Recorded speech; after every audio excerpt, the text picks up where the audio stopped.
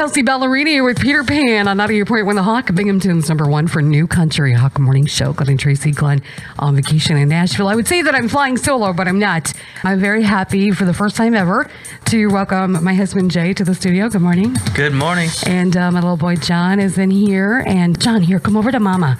I wish we had a webcam in here because he likes buttons, and so, so we're literally chasing him this morning, trying to prevent him from. Uh, oh, hello! We're trying to prevent him from touching the buttons. Let's try that again, John. Can you say hello?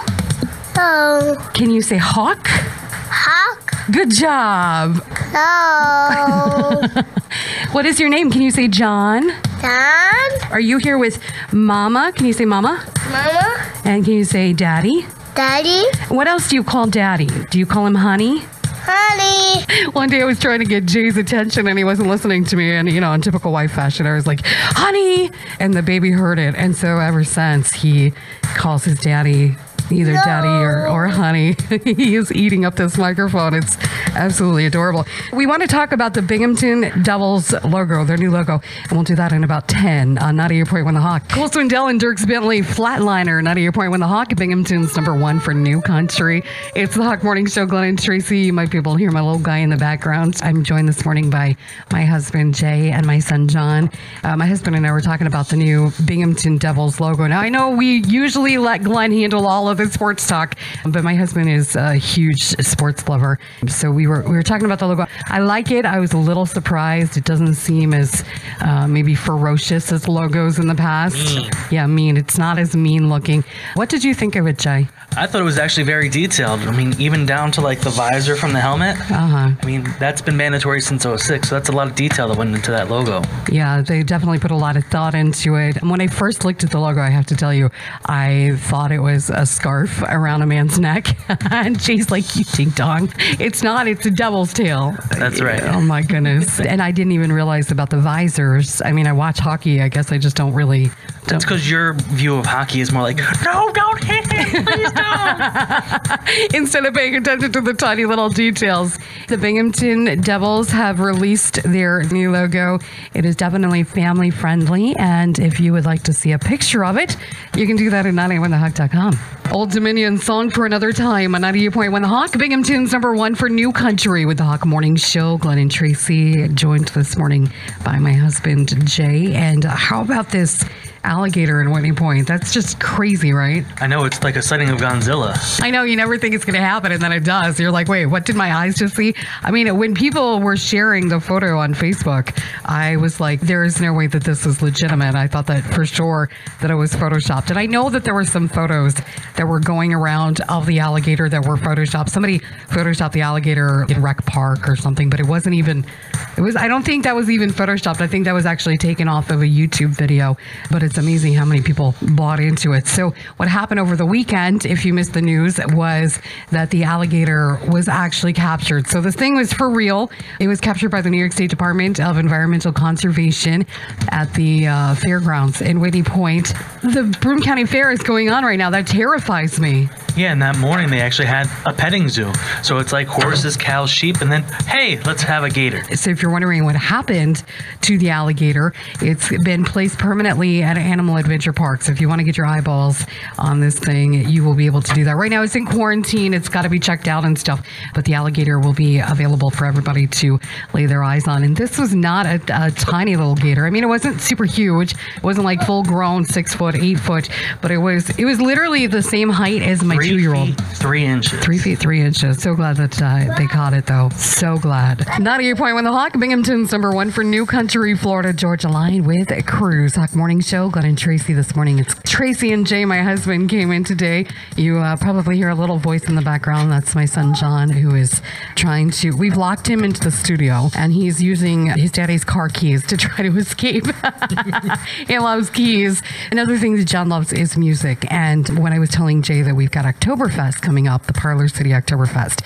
He got super excited. You went w- went online right away. What, what was it you were looking for? I was looking for ladle holes. Little toddler lederhosen. Do you know, explain what that is in case somebody doesn't know? I mean, basically, you take overalls, just give it some German flair. Yeah. And that's pretty much a ladle hose. Uh, yeah, he got like so excited. I didn't even tell him the details of the Parlor City Oktoberfest, and he was already online looking for them. He's like, "We have to dress up John. We have to take him because the Parlor City Oktoberfest is a family-friendly event. It's happening Saturday, October 14th. It's all day. You don't have to feel obligated to go from 11 until 8, but that's how long it's going. It's going to be a mountaintop grove in Vestal, and we are going to have authentic German food and desserts, entertainment, ethnic bands, dancers.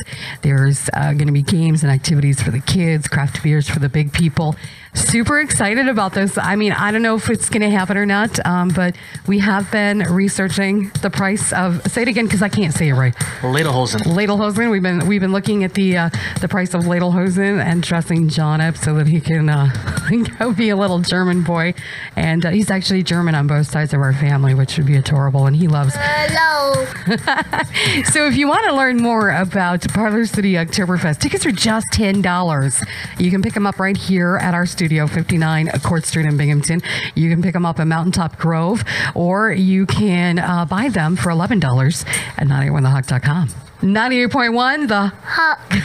Thank you to my little guy for that. This is Jason Aldean. Take a little ride on the Hawk. Glenn and Traci in the morning. Binghamton's number one for new country all day at work. 98.1 the Hawk. That's Thomas Rhett and Maren Morris. Exciting morning for, for us this morning because um, in the studio we've got my husband Jay and my son John. All the time I'm always talking about the things that surprised me the most when I became a mom. I don't think I've ever asked you. So what was the biggest change in your life or the thing that surprised you the most or the thing that you missed the most of your life before becoming a dad? I think all of them can be wrapped around one word, and that's sleep.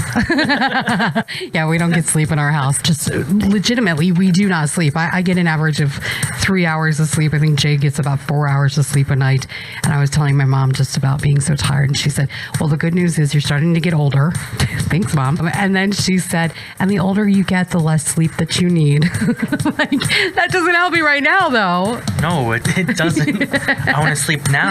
I know. But he needs to sleep. I know, and John doesn't. He just he doesn't sleep. People all the time are saying that they they get tired just watching him. We had friends who who came to visit from Philly over the weekend, and John literally ran outside a restaurant for about two hours after we had dinner. So you would would have thought with a full belly he would have been tired out, and and he wasn't. He actually didn't go to bed until almost midnight on Saturday night, and then he was up at six o'clock in the morning, and he's like, "Let's go! I'm ready to go." You're at workstation all day, every day. Binghamton's number one for new country. Not here, point when the hawk with Kenny Chesney and all the pretty girls. Hawk Morning Show. Glenn and Traci. Glenn on vacation today. My special guests this morning are my husband Jay and my son John. My husband and I work opposite schedules, and it's hard. I w- you would agree it's it's hard. It's very hard. It's like, who's the stranger next to me? I know, I know, and it's sad, but we're doing it for our son. We're doing it because the price of childcare is is astronomical. We're doing it because we want our little boy to grow up with one of us with him at all times, and we're not in a financial situation where where one of us can um, just stay home. We both need to work, and it's hard. So we do a lot of stuff together. We really value our our weekends together because that's the pretty much the only chance that we get to to see. Who are you?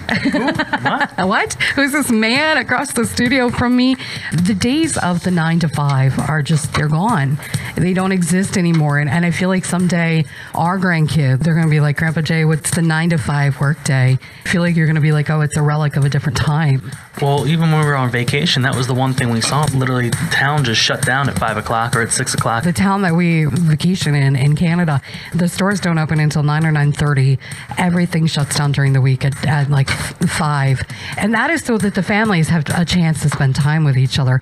And then uh, on the weekends, they don't open until 10 o'clock in the morning on Sundays so that people can go to church. And everything shuts down at 4.30 or 5 on Saturday or Sunday. So it's kind of tough if you need to run to the grocery store and it's 6 o'clock. You have to wait till the next day.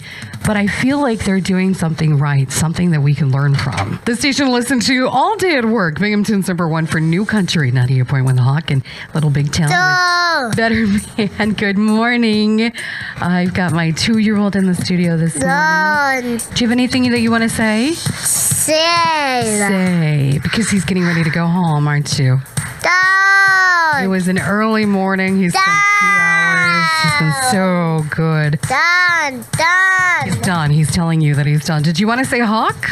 Oh no. Oh no. We don't lick the microphone, John. My child who likes to lick everything. So John and his daddy gonna get ready to go back home. I've enjoyed having them in the studio with me this morning. I I miss them when they're not around. So what did you want to say, John? A day. Oh, have a day. Can you say have a good day? A day. Have a day. Can you say thank you for listening? Thank you.